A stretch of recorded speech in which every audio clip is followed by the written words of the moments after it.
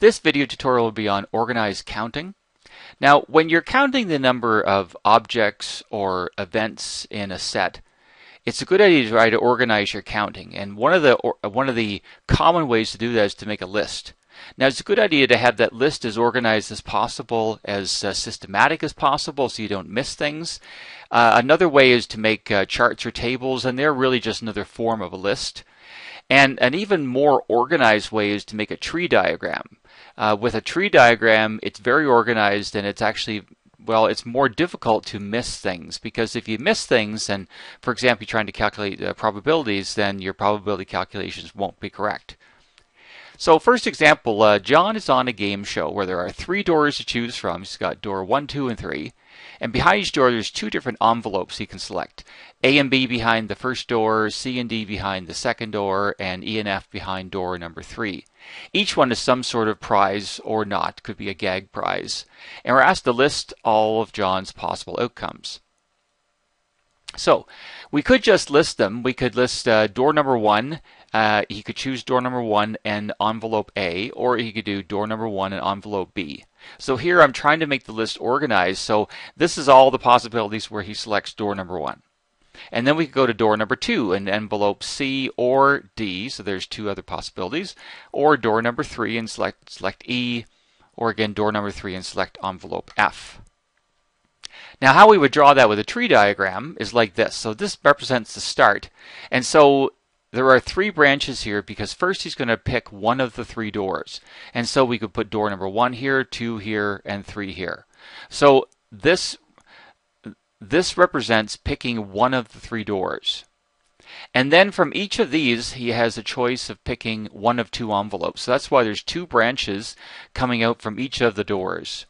And so we would put A and B here, C and D here, and then E here and F here at the end. Now, when you draw a tree diagram, you get the list of all possibilities uh, generally by listing them on the end here. And so we would go 1A, 1B, 2C, 2D, 3E, and 3F here. And so that's the same list as is up here. The nice thing about the tree diagram though is it makes it more organized so you're more sure you're going to get all of the outcomes. So flipping over to the second example, uh, Amra's driving to work. She knows the city well and she has four different routes to the coffee shop and then three different routes from there to her workplace. I'm supposed to draw a tree uh, a diagram to uh, show her possible routes. We're not going to do a tree diagram, just a diagram with these uh, three visuals here uh, to work uh, from home all the way to her work. And so let's say this is her home. So we're told that she has four different routes to the coffee shop. And then there's three different routes from the coffee shop to her workplace. So there's the diagram. Now, we could uh, list these as one, two, three, and 4. And we could call from the coffee shop to her workplace uh, A, B, and C routes.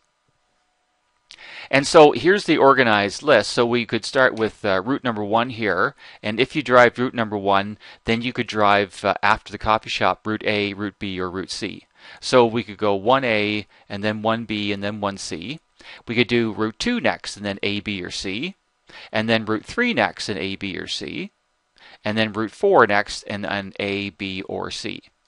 And so if you uh, count them, there are 12 possible ways she can get from her home to her workplace. So it says if on the first day, first of the week, she starts driving a different route every day, when will she have to repeat a route already traveled? So she's got 12 different routes. So it would actually be the 13th day before she would have to repeat one.